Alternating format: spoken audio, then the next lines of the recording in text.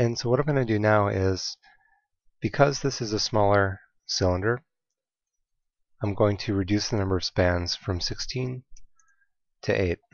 And I do that because I don't, I first off don't need that many spans to describe this size of a cylinder. And secondly, it'll make it much easier to attach this piece uh, to this piece over here. So we basically have to start by doing something kind of similar to what we did before. Uh, I'm going to drag these down here, and then I'm going to cut in a couple of edge loops. And actually I want to make sure that this loop is flat, so I'm just going to scale it down until it's relatively flat like this. And drag it down, line it up. move this down a little bit. Okay.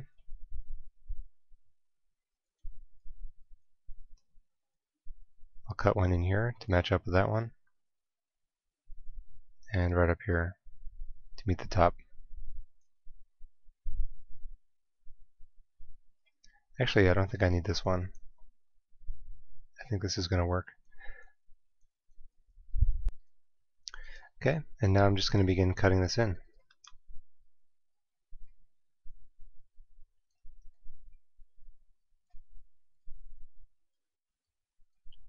So I'm just going to start by cutting this diamond shape in here. Here's what the wireframe looks like. And of course I've got this connection point right here. So let's just add a vertice. So I'm just going to use the split edge tool and hit enter. And although I haven't drawn any edges, I have created that vertice here. So I'm going to do the same thing on these other three edges. And now what I'm going to do is grab that edge and drag it over. Actually, before I do that, let me go into the cylinder. I'm going to delete the end and line up these vertices as close as I can.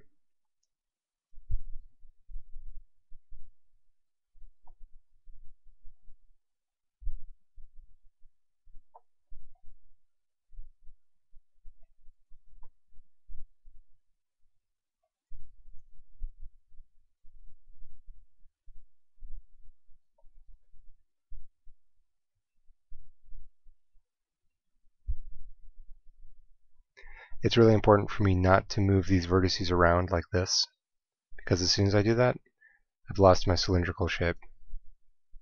So I'm only moving it along that horizontal axis here. Okay. But of course some edges do have to move and so those are going to be the ones on the surface here. So what I'm going to do is I've selected this vertice and I'm going to hold down V and snap it to this vertice here. And I'll do that same thing with all these.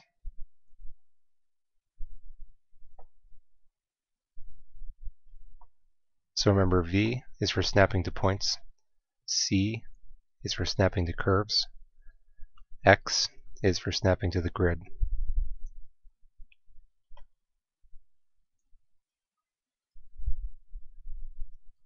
Okay, cool. So now I know that this cylinder is touching that perfectly. And now I just need to get rid of these faces. This will be the inside part.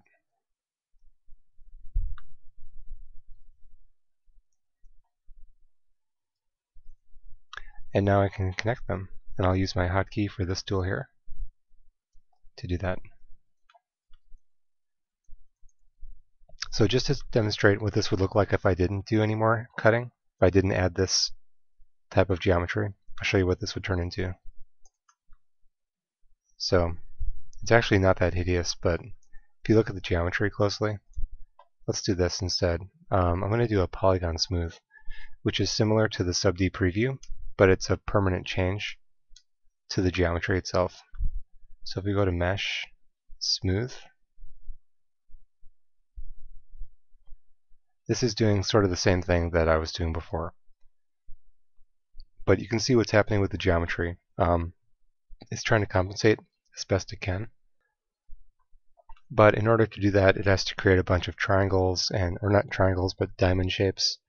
And the connection isn't very clean. You notice how there's no real consistent highlight happening. Uh, let's just use a Blinn real quick. If you use this button here, we'll put a shiny shader on here. Um, it's got all sort of artifacting going on here, and look at that pattern that happens. Whereas over here, it's a nice, clean, smooth transition, and you can see that in the geometry.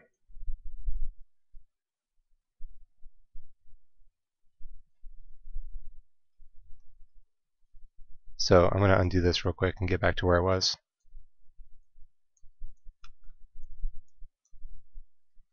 And let's go ahead and make this right. So we can add an edge loop here. That's easy. And then we'll have to add our own through here. So I'm just going to connect these vertice points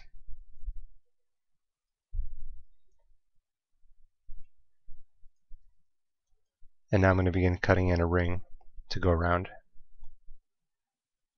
Once I do that, I can get rid of these two edges. I'll do the same thing down here.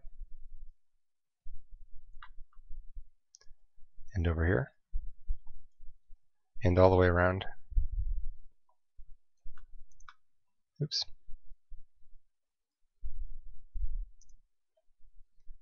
And get rid of these.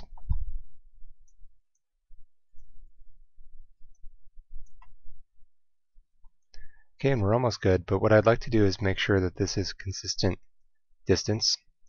Uh, as it is, this will probably look okay, but it's just going to be a little bit cleaner if we go ahead and bring this in a little bit. So I'm using this tool right here, which I found out doesn't really work very well on a shelf button, but preferably should be down on a hotkey. Just quickly changes the uh, pivot point of that vertice and goes to the scale tool right away.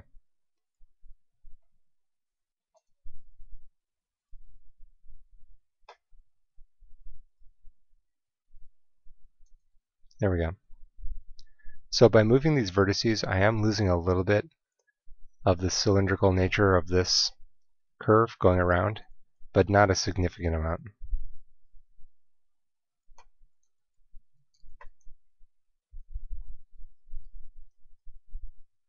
I like to keep things even whenever I can, so I'm just going to bring that up. And let's just throw an edge loop up here. And give this a shot. Let's put a loop here to keep that in place. And actually, let's just go ahead and grab these faces. Extrude them in. Oops.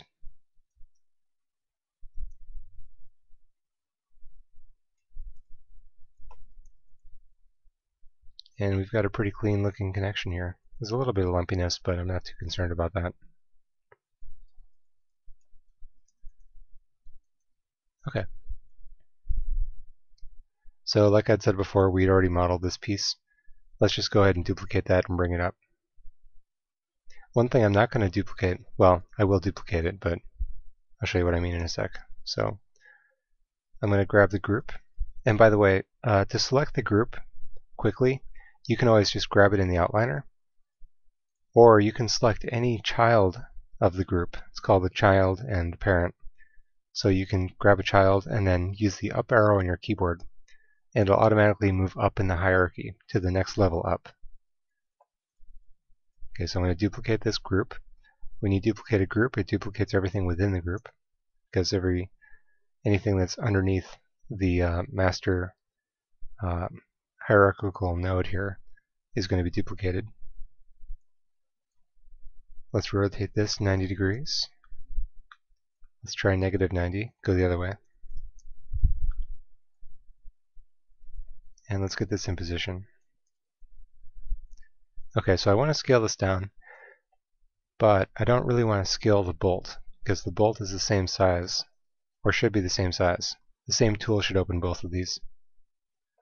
So let's just grab this bolt and take it out of the group. And there's two ways we can do that. You can use Shift P or capital P. That's uh, the shortcut for unparenting.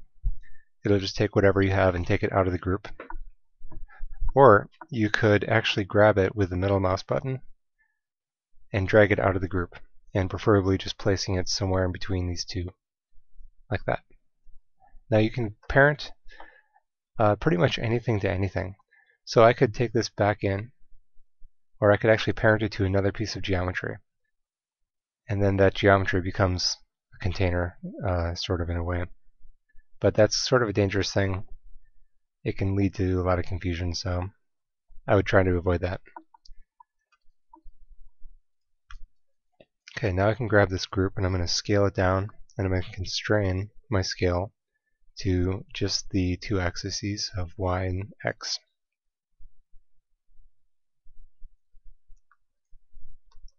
Let's get this lined up. Oops. I'll put that back in the group now.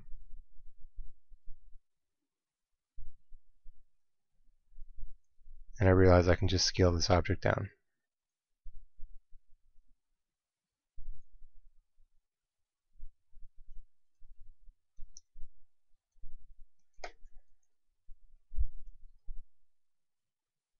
Okay, so the uh, surface area here is a little bit less than it is here, so we'll have to make some changes to this geometry. Shouldn't be too hard.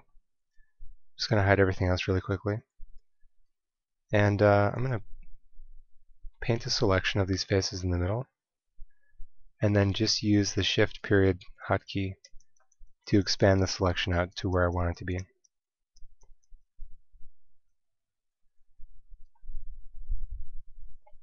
I'll deselect these faces here.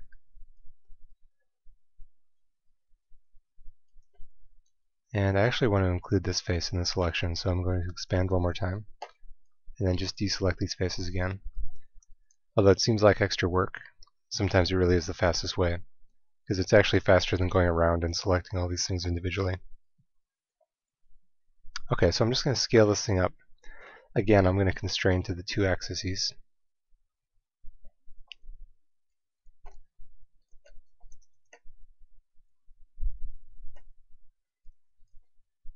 Okay, so I lied. I'm going to scale this down just a little bit. There we go. Is it longer too? It looks like a little bit longer.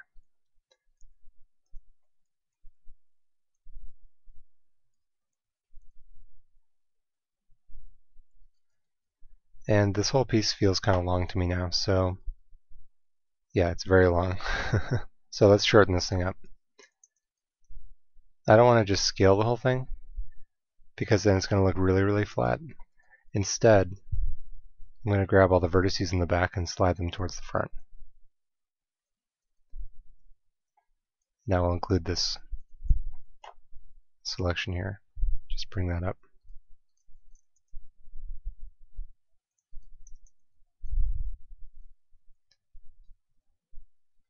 And let's bring this forward. Uh, the reason I'm doing this is because if you look at our our shape here, it's really softening out now because of the distance that's been created between this edge and this edge. So I'm just going to bring this back forward. And maybe add an extra edge loop right here. Bingo.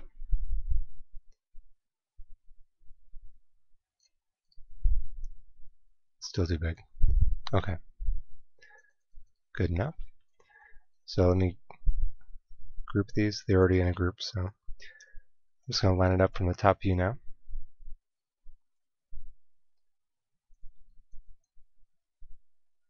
And basically just place it right on there.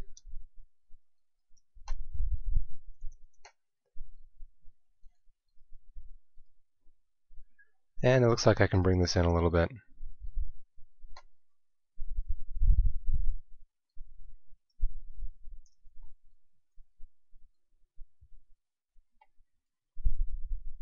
Pretty short.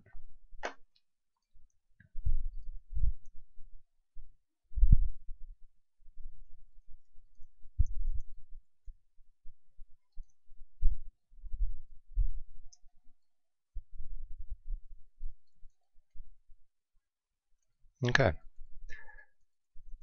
So that was a fair amount of work. And we actually have to do it again because this is a symmetrical object. But the great thing about Maya, like I was saying before, is that you can duplicate things from one side to the other. So we really only have to do that work once. So I'll show you how to get that going. Right now this cylinder is mostly symmetrical. I'm just going to delete half of these faces.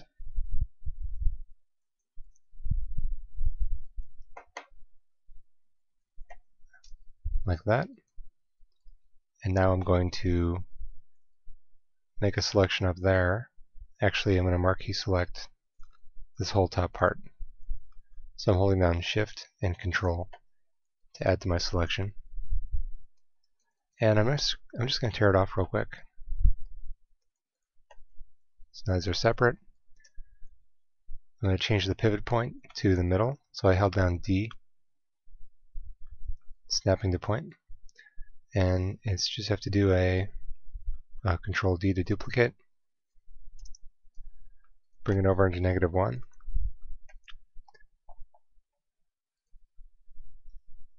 And combine this. Uh, that's interesting. So this is yet another fun little bug that Maya has. It's turned a couple of the faces transparent. So we just need to reassign the shader, which is right up there. That's the default shader and uh, just have to line up this vertice which I had moved on the other side. And now I can combine this together.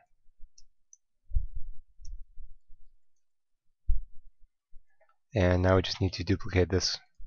It's already in a group. So I can duplicate it and I can scale it into the negative or I can just rotate this piece which I think I might do. But first I'm just going to freeze my transformations on that object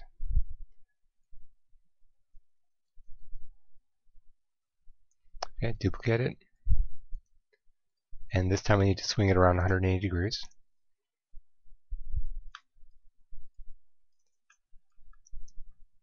There we go. So our fire hydrant is quickly taking shape.